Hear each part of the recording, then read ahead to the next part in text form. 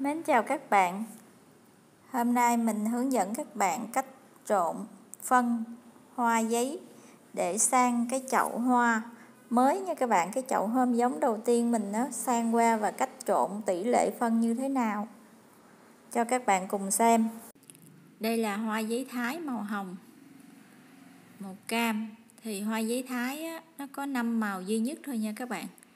Thì hôm nay mình quay cho các bạn xem 5 màu hoa giấy thái và màu trắng thì à, nó màu hơi phớt nè các bạn.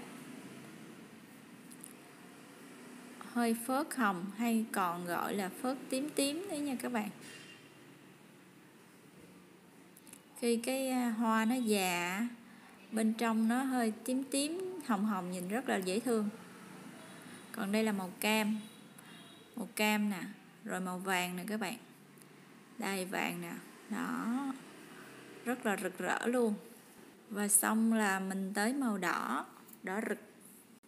Rồi mình à, đi trộn phân để mình sang cái chậu hoa giấy đầu tiên nha các bạn. Khi các bạn làm hôm giống đầu tiên thì à, mình sang cái chậu hoa và cái phân nó phải khác. Thì hôm giống thì à, mình chỉ cần sơ dừa thôi còn à, khi mình sơ dừa mà mình còn phải sàn nhuyễn ra nữa các bạn. Còn cái này mình không cần sàn nhuyễn nha. Mình để nguyên luôn. Mình để nguyên luôn. Đây các bạn. Đây là những cây hôm giống đầu tiên của mình khi mới mua về á. Các bạn để nó yên rồi các bạn mới bắt đầu sang cái chậu. Sang chậu sáo. Thường thì mình sang chậu sáo không nha các bạn. Cây hôm giống đầu tiên á sang chậu sáo để cho cái cây nó phát triển tốt, rồi mình hãy đem xuống đất trồng thì nó hay hơn nha các bạn, nếu mình trồng dưới đất. Đây, các bạn nhìn kỹ nha. Trấu tươi nè. Phân rơm mục nè. Rơm mục, đó, người ta phơi khô lại đó. Thì à, các bạn trộn là tỷ lệ là hai bao sơ dừa một bao phân rơm. Phân rơm này nha, các bạn, phân rơm một. Và nửa bao trấu tươi. Nửa bao trấu tươi. Đó. Thì các bạn trộn đều và bóp ra nhuyễn chung quanh cho nó nhuyễn hết nè. Đó, các bạn thấy không? Mình phải à, cho nó tơi hết, đều hết luôn, ba thứ với nhau và tỷ lệ nó khác nhau hết nha. Để mình à, ra cái cây hôm giống của mình. Đây, mình sẽ vô cái, cho các bạn xem. Mình à, xé cái bọc nó ra và mình à, các bạn nhìn nè. Nhìn cái bộ rễ nó rất là nhiều luôn nè. Nè, các bạn thấy không? Rất là tốt luôn đó rồi mình hãy để thường thì à, cái này cây nó còn mát nên không sao, nếu mà khô quá thì các bạn nhúng nước, rồi các bạn hãy vô chậu nha. Xong thì các bạn cắt cắt đọt hết.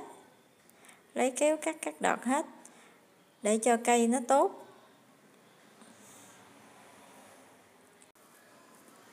Đó, ba thứ phân rồi mình để vô đều hết như thế này nè các bạn.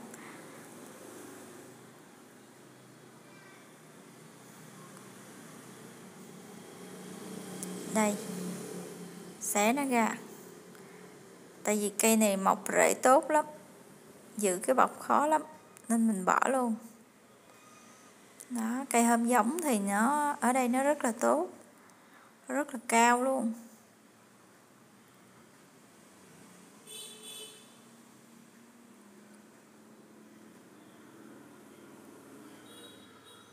Rồi đó, xong rồi đó các bạn xong rồi các bạn lấy cây kéo á, tốt nhất mình đừng ngắt tay nha các bạn. Lấy cây kéo á, mình cắt sâu xuống dưới á, chứ đừng có chừa nó cao quá cao quá cái cây nó không có tốt đâu. Nè các bạn cứ cắt đừng có tiếc. Cho nó ngắn ngắn lại cây giống các bạn nữa nó lên cái à, tược rất là đẹp luôn. Cây nó cũng đẹp nữa. Xong rồi nè các bạn thấy không? Một cây giống vô hôm giống như thế này. Rồi mình để trong mát nha, cho cây nó bén rễ, mình mới đem xuống đất trồng rồi nha. Mình quay cho các bạn xem kỹ, tại nhiều người bạn không biết cách vô rồi vô thì cái hôm giống mình nó sẽ dễ bị chết đó.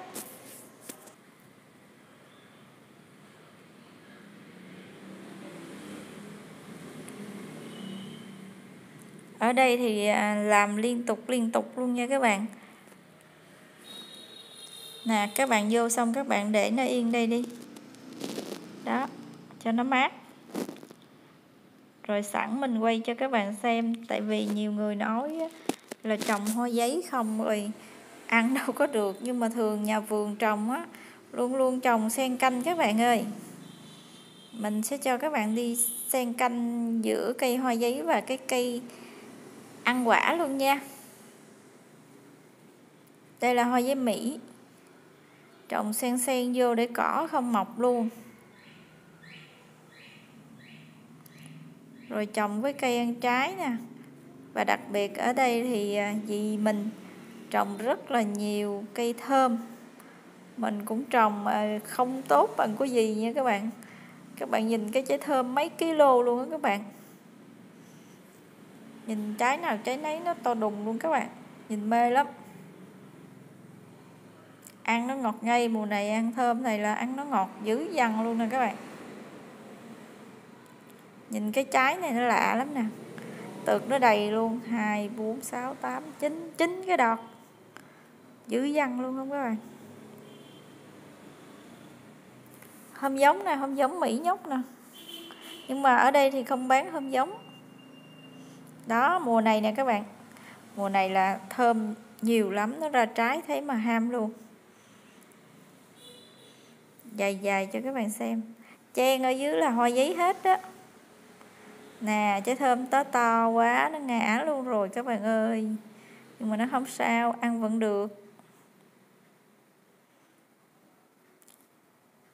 Đây, dài dài, mùa này đều có thơm đầy hết. Còn cái này là cây lụ lụ này nó không ra trái rồi các bạn ơi. Này là phải khắc phục nó thôi.